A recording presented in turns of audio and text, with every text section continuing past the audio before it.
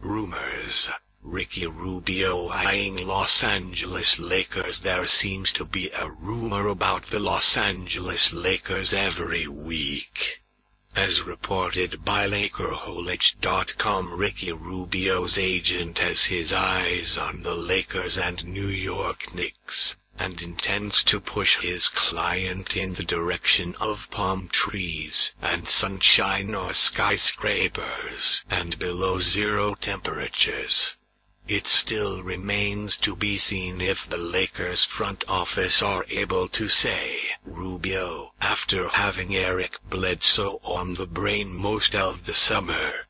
Rubio's current team, the Minnesota Timberwolves, has until October 31st to sign him to a contract extension, and all indications point to both sides being at opposite ends when discussing a new deal for the fourth-year point guard.